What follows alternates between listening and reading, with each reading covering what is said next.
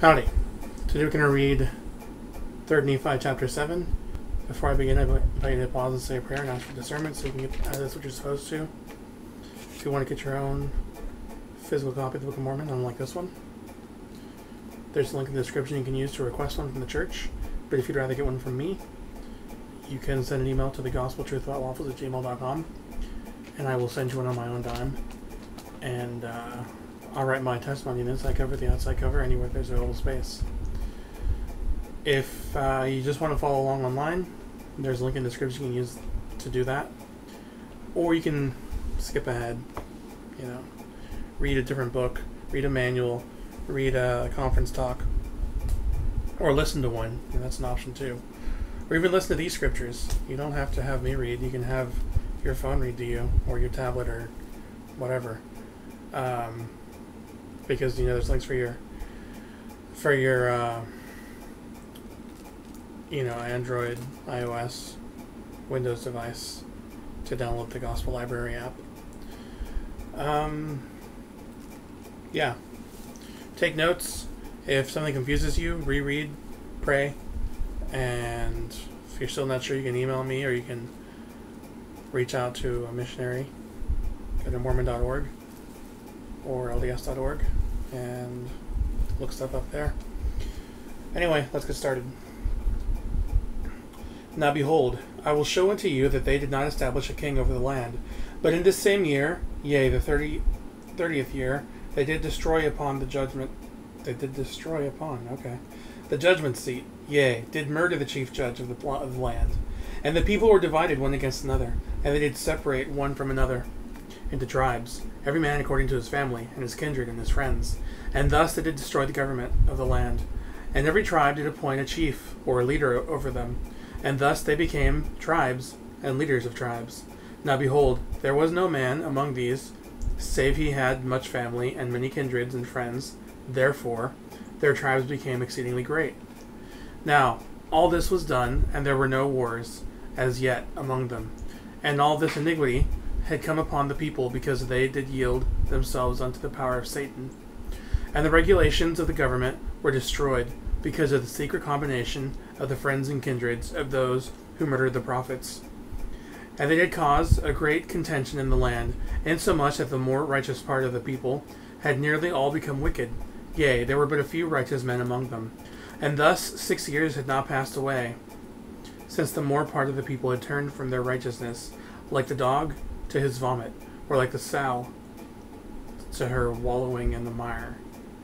Now, this secret combination, which brought so great iniquity upon the people, did gather themselves together, and did place at their head a man whom they called Jacob. And did he call him their king. Therefore, he became a king over his, this wicked band, and he was one of the chiefest who had given his voice against the prophets who testified of Jesus. And it came to pass that they were not so strong in number as the tribes of the people who were united together, save it were their leaders. They established their laws, every one according to his tribe. Nevertheless, they were enemies, notwithstanding they were not a righteous people. Yet they were united in the hatred of those who had entered into a covenant to destroy the government. Therefore, Jacob, seeing that their enemies were more numerous than they, he being the king of the band, Therefore he commanded the people, his people, that they should take their flight into the northmost part of the land, and there build up unto themselves a kingdom, until they were joined by dissenters, for he flattered them with for he flattered them that there would be many dissenters, and they become sufficiently strong to contend with the tribes of the people. And they did so. And so speedy was their march that it could not be impeded until they had gone forth out of the reach of the people, and thus ended the thirtieth year. And thus were the affairs of the people of Nephi. And it came to pass in the thirty and first year that they were divided into tribes, every man according to his family, kindred, and friends. Nevertheless, they had come to an agreement that they would not go to war one with another, but they were not united as to their laws and their manner of government, for they were established according to the minds of those who were their chiefs and their leaders. But they did establish very strict laws that one tribe should not trespass against another, insomuch that in some degree they had peace in the land. Nevertheless, their hearts were turned from the Lord their God, and they did stone the prophets, and did cast them out from among them.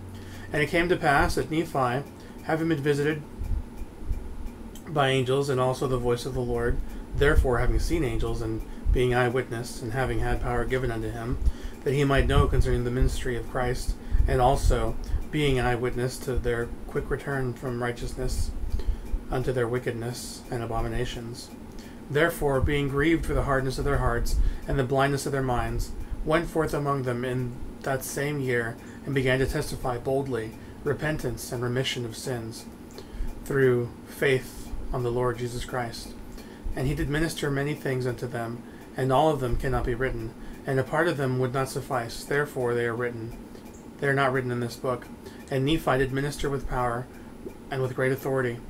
And it came to pass that they were angry with him, even because he had greater power than they, for it were not possible that they could disbelieve his words. For so great was his faith on the Lord Jesus Christ, that angels did minister unto him daily. And in the name of Jesus did he cast out devils and unclean spirits. And even his brother did he raise from the dead, after he had been stoned, and suffered death by the people. And the people saw it, and did witness of it, and were angry with him, because of his power. And he did also do many more miracles in, in the sight of the people, in the name of Jesus. And it came to pass that the thirty and first year did pass away, and there were but few who were converted unto the Lord. But as many as were converted did truly signify unto the people that they had been visited by the power and Spirit of God, which was in Jesus Christ, in whom they believed.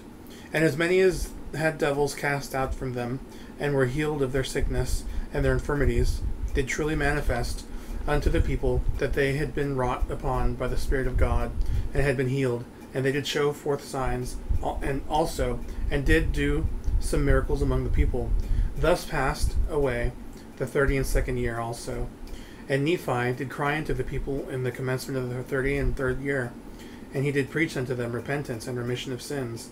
Now I would have you to remember also that there were none who were brought unto repentance who were not baptized with water. Therefore, there were ordained of Nephi men unto his ministry, that all such as should come unto them should be baptized with water. And this was a witness and a testimony before God and unto the people that they had repented and received a remission of their sins. And there were many in the commencement of the year of this year that were baptized unto the repentance unto repentance, and thus the more part of the year did pass away. All right, thanks for watching, and uh, I'll see you all later.